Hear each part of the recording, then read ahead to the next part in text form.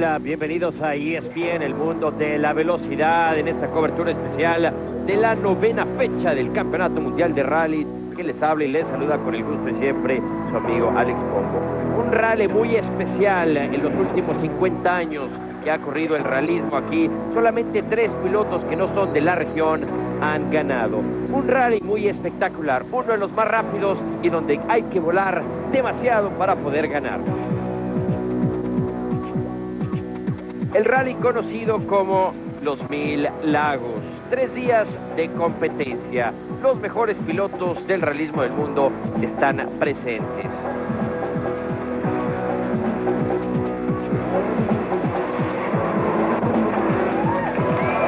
Increíblemente, como lo mencionábamos, fuera de dos pilotos escandinavos que no son escandinavos, Didier Auriol y Carlos Sainz han ganado.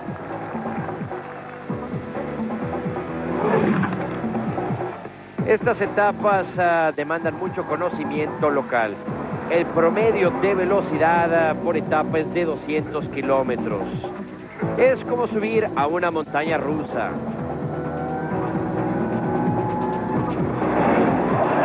Una combinación que toma muchos años para perfeccionarla. A veces las consecuencias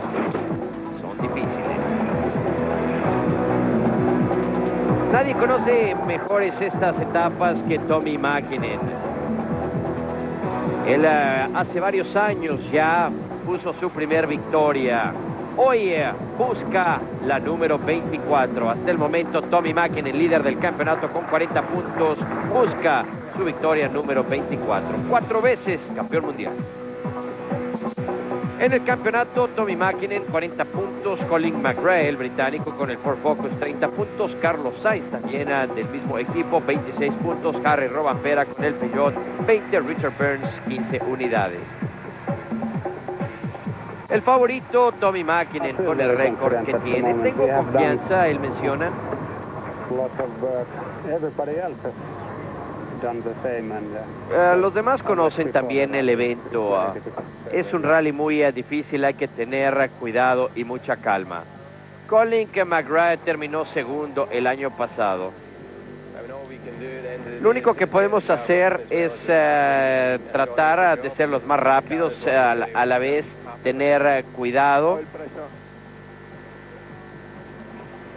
Carlos Sainz por segundo rally consecutivo en uh, el rally de Kenia. Eh, problemas con el motor. Este es uno de los rallies más difíciles del campeonato. Es siempre un gran reto. Otro desastre en Kenia fue Richard Burns. Ahí perdió también puntos valiosos para el título. Tú sabes y uh, tienes los elementos para hacerlo. Ojalá las cosas sean hoy diferentes. Marcus Grolcom no ha ganado, él es el actual campeón de la categoría. Él sorprendió en el 2000, pero hasta el día de hoy no ha ganado en la temporada del 2001. Ojalá podamos ganar aquí el día de hoy. Harry Robampera, él ha hecho su nombre en el rally de Finlandia y con eso firmó un contrato con Peugeot. Harry Robampera actualmente se encuentra en el cuarto lugar del campeonato con 20 unidades, 20 puntos atrás de Tommy Mäkinen. Todos estamos contentos en el equipo Peugeot, las cosas han salido bien ah, para mí. Skoda tuvo su primer uh, podium con un tercer lugar en el Rally de África. Todos los equipos de fábrica han traído tres autos.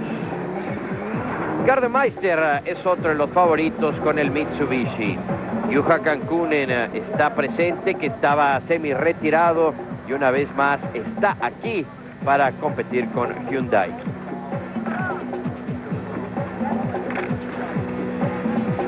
Todos quieren hacer historia y buscar su victoria número 24.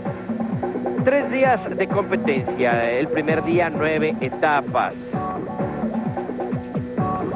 131 kilómetros totales. Muy rápidas las etapas del primer día. Vamos a una pausa y regresamos a Finlandia.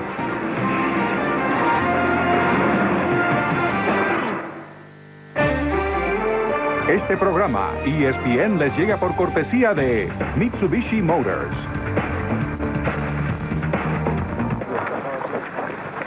Estamos de regreso en esta cobertura especial del Campeonato Mundial de Rallys en la ronda número 9 en Finlandia y un total de 14 fechas alrededor del mundo. Tommy Mäkinen, el favorito sin lugar a dudas, líder del campeonato y era el primer día y la primera etapa.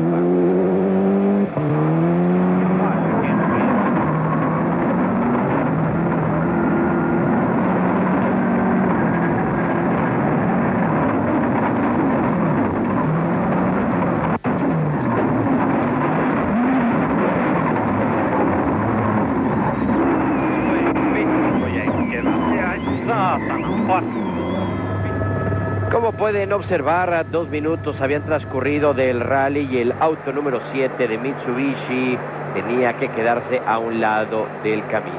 El equipo no podía creer lo que había sucedido. El siguiente en salir era Colin McRae.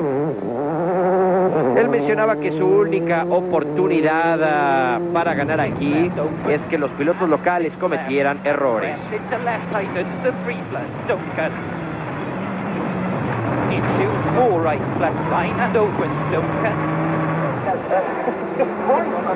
McBride fue el primero en observar el abandono de uh, Tommy McKinnon. Muy desilusionado.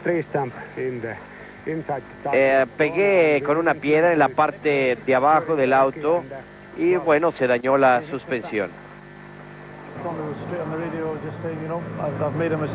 En el radio mencionaba, menciona George Donaldson, jefe del equipo Mitsubishi, cometió un error, él eh, nos lo decía a través del radio, tenía tanta confianza de tener un buen resultado con su auto, con él, las pruebas habían sido muy bien. Y estas cosas pasan, es un campeonato largo, llegas a tener problemas. Tommy Mäkinen quedaba afuera y Carlos Sainz y Colin McRae tenían una gran oportunidad, pero las cosas no iban a ser fáciles para el equipo Ford. Otro finlandés tenía gran oportunidad, Harry Robampera con el auto Peugeot.